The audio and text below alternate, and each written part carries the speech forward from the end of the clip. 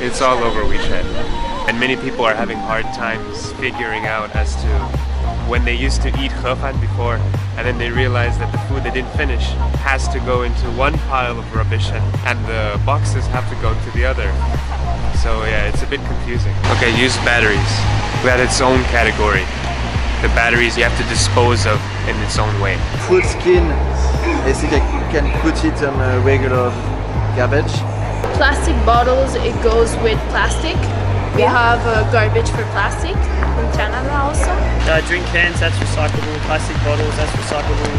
Uh, flowers is green waste. Or cigarettes, that's, uh, I don't know. Used batteries, that's a special uh, category in the U.S. called hazardous waste. Leftover food. That's what we would call regular garbage. Either goes down the garbage disposal. People compost. Some people. Bones would be, uh, again, regular waste that would go in the landfill or compost pile. Flowers. I don't know if there's a category. It's organic one. Like you can keep it in the garden. It's a, it's not gonna harm anything. I heard some people talking about it, but I don't know much about it. If someone does it wrong, it takes a photo of them. It's a good thing because the world is really polluted these days and we need to act on it and not just talk about it. I haven't seen one yet, uh, but I think it's a good idea, really. It's great, but it's just really difficult. It may take a long time for people to get used to it. It's good, something like governments around the world do need to take strong action. It's good that they're trying something. We'll see if at first nobody understands the system. It might take some time for people to understand it. Once there's been enough time, then there's no excuse anymore. And then, yeah. I think it's an excellent idea. It's different. I'd have to think more about it. But it doesn't sound bad. It's a good idea. I know this is probably about the new rule in China where you have to classify the garbage. Honestly, uh, we didn't reach that level yet. I don't. I don't think we have. It's not that detailed. Maybe in Moscow, I think they have some kind of um, regulations there. Recyclable Recycling waste and one uh, for wasted uh, garbage, trash.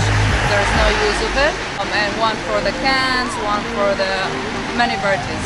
And I saw it here every like 200 meters you have uh, trash cans with the recycling, non-recycling. It's very good. Well, we have three different bins. Green is green waste, yellow recyclable, red non-recyclable. It's glass, paper, plastic, and uh, food. We have five. Five, right. Yeah. We classify it by uh, paper, then we have uh, like boxes, we have uh, like leftover foods, and we have uh, regular garbage. But if you don't do it at home, yeah, you have a fee. We have to pay like fifty dollars. We have to put some uh, recycling uh, things in uh, some specific bags. Other things like waste, uh, regular waste uh, things, we put in the trash. There's recyclable, and then in the U.S., the rest of it goes to what we call landfills, which are big holes in the ground, and uh, then you fill it up with garbage, and it makes methane.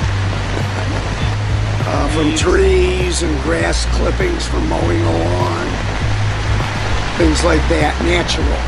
But in the U.S., there's not a national policy.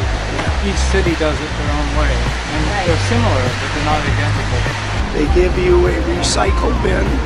There's no fines whether you use it or not, but almost everybody tries to put the recyclable items in the recycle bin, garbage item in the garbage bin, and they hold the hazardous waste for a once or twice a year hazardous waste pickup. And we rely on the citizens to do that, and they do it.